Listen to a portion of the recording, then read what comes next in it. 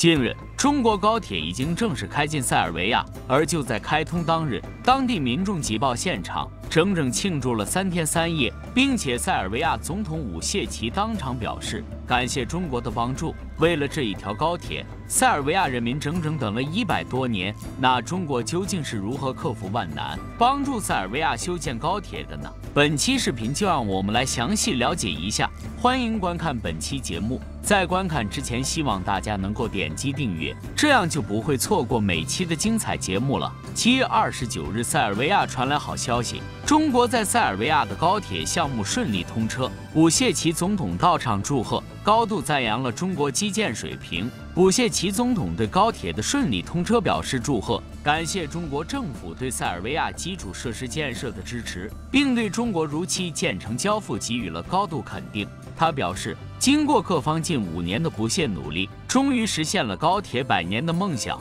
今后，塞尔维亚将会建成更多的基础设施项目，书写新的历史篇章。近几年以来，中国在国内建设的几个重大基建工程吸引了全世界的目光。二零一八年，塞尔维亚提出修建贝尔格莱德。诺萨维德高铁的设想，并计划投资一百三十五亿欧元。对于这个一百三十五亿的铁路大订单，欧盟二十七国都在互相抢夺，但最终中国入场，成功击败欧盟二十七国，将这份一百三十五亿的铁路订单拿到手。那么，为何塞尔维亚要坚定地选择中国呢？据了解，这可能是因为中国在高铁技术上成就显著，塞尔维亚更相信中国的技术实力。塞尔维亚此次愿意选择中国来修建高铁，主要还是因为对中国的信任。一直以来，塞尔维亚虽然作为一个欧洲国家，但其经济发展水平却远远落后于其他西欧国家，人均 GDP 只有四百欧元。造成这一现象的原因。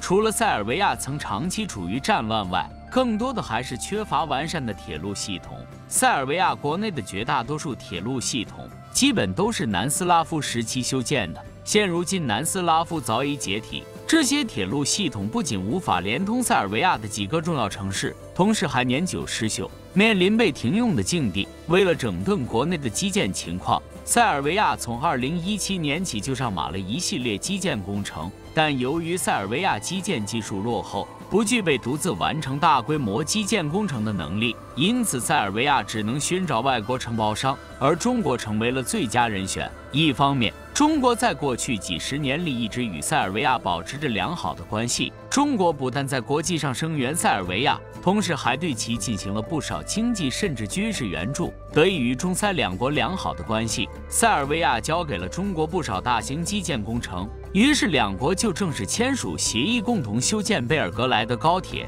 在塞尔维亚已经对中国如此信任的基础上，把贝尔格莱德、诺维萨德高铁交给中国来修建十分正常。除了对中国的信任外，中国自身的基建实力也让塞尔维亚十分放心。贝尔格莱德。诺维萨德高铁对塞尔维亚的经济发展有着重要作用。这条铁路沟通了著名的旅游城市诺维萨德与首都的联系。一旦铁路开通，将给塞尔维亚带来大量旅游业收入。在基建领域，中国则是不折不扣的世界第一。目前，中国国内的高铁里程已经达到了四点三万公里，位居世界第一。同时，中国的高铁动车组速度也已经达到了每小时三百五十公里。让中国来修建高铁，塞尔维亚基本上可以放一万个心。不仅如此，由于贝尔格莱德。诺维萨德高铁的设计时速高达二百五十公里，欧洲其他国家无法提供这么快速度的高铁动车组，所以在铁路修建完成后。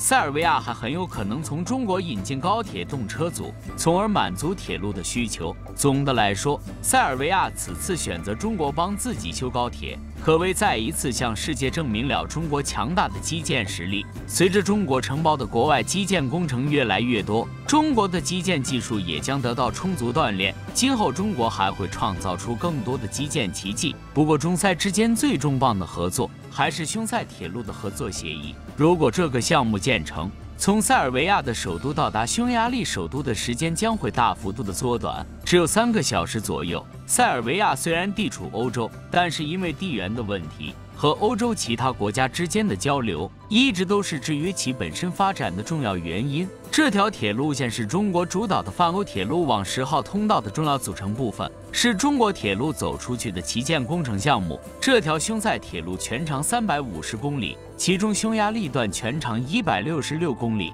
塞尔维亚段全长一百八十四公里。作为中国铁路走出去的第一单，这条铁路实现了中国铁路标准和欧盟标准的对接。经过对原既有铁路的改造，使得铁路行驶速度增加到二百公里每小时。塞尔维亚非常看好匈塞铁路的前景，非常感谢中方在建设过程中的付出。两国之间的友谊将通过铁路承载到后代。不过，匈塞铁路在建设初期也是遭到了很多西方国家的反对。欧洲国家认为，像这种大型的建设项目不应该由塞尔维亚直接托付给中国，而是应该让西方的公司同样参与竞标。后来，在塞尔维亚的强烈坚持，还有多方从中的协调，整个匈塞铁路才在今年正式启动。匈塞铁路是一条对于塞尔维亚来说非常重要的铁路。塞尔维亚这个国家位于中欧内陆，没有自己的出海口，进出口行业发展受到了很大影响。而在匈塞铁路建成之后，它就将把塞尔维亚和匈牙利两国的首都连接起来，为塞尔维亚提供一条可以方便出口本国产品、发展进出口行业的交通要道。为此，塞尔维亚在最开始招标匈塞铁路时，就拿出了相当高的预算，引来了全球几乎所有有相关建设能力的国家的争夺。这是一条电气化双线铁路，以前这只是一条时速一百二十公里的单线老旧铁路，年代久远。塞尔维亚曾对铁路建设项目展开招标，原本法国也参与其中。塞尔维亚还曾设想通过法国建造铁路项目，与法国搞好外交、经济、贸易、基建等领域的关系，帮助塞尔维亚早日加入欧盟国家。但是西方国家在查查看铁路情况后，认为改造难度相当大，对塞尔维亚开出远超预算的费用。最终，武谢奇经过思虑后，决定还是找中国建造。没想到中国一出手就惊艳众人。这条铁路，中国不但表示可以建成塞尔维亚预期设想的性能，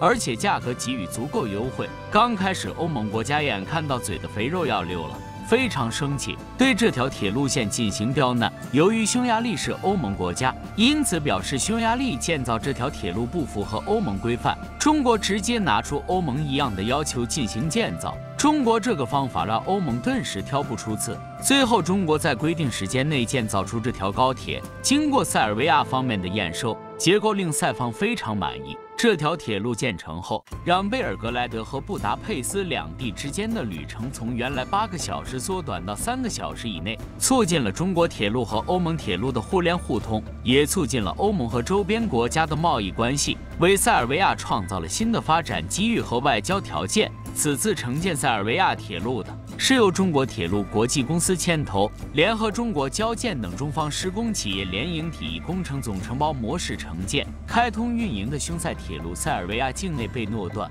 起自贝尔格莱德站，经就帕佐瓦站，中至诺维萨德站，线路全长约八十公里。这条铁路的建成，让欧洲各国看到了中国高铁的精湛工艺，也成为中国基建向海外扩张的一张明信片。它具有很强的广告效益，这让未来想要修筑高铁的中东欧国家率先想到邀请中国帮助建造高铁。如今，匈塞铁路的建设正在有序推进中，它在塞尔维亚国境内的路段已经建设完成，为该国提供了一条可以从首都便捷通往边境的铁路线。而它在匈牙利国内的路段建设正在进行，预计如果一切顺利。二零二六年，整条铁路就能建设完工，为塞尔维亚乃至整个巴尔干半岛提供一条便捷的国际铁路运输线，促进整个中欧经济的发展。整条铁路预计将在五年后正式通车。在铁路建设的沿线，塞尔维亚准备建设大量的企业，利用匈塞铁路可以直达欧洲腹地的优势，